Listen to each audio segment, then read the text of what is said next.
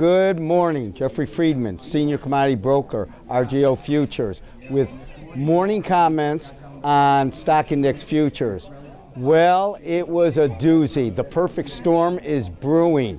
What do I what am I talking about? Last night and yesterday's comment, I referred to China slowing down. Well, their manufacturer uh, index was contracted, probably the worst in four or five months.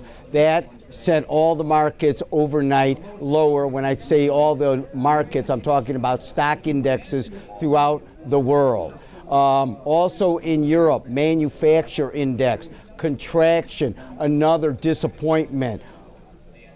Is the perfect storm brewing? Then we come into, remember, our, our manufacturing report in the United States was disappointing and started to make the stock markets kind of uh, sell off late yesterday as well. So manufacturing is bad globally, and we go into non-farm payroll, our monthly report, which is our biggest monthly report for employment, and lo and behold, they're looking for 130, 150, great estimates, maybe 165.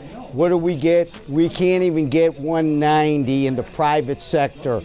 We very disappointing. We came in the market with the S&P June contract down about 10 to 15, and we shot down probably uh, another 10 to uh, 15 points. That puts us around 1285. Remember yesterday I was saying 90 is support. Some technicians are talking about in the June contract S&P maybe 85 or 83. A close under 82, I can tell you right now, and that would be very, very negative on the charts. And the bears, obviously, I said yesterday, are in command of this market to the downside. But at this point of the game, remember, 1st of May, we were up 12%. We're unchanged for the year in the Dow Jones.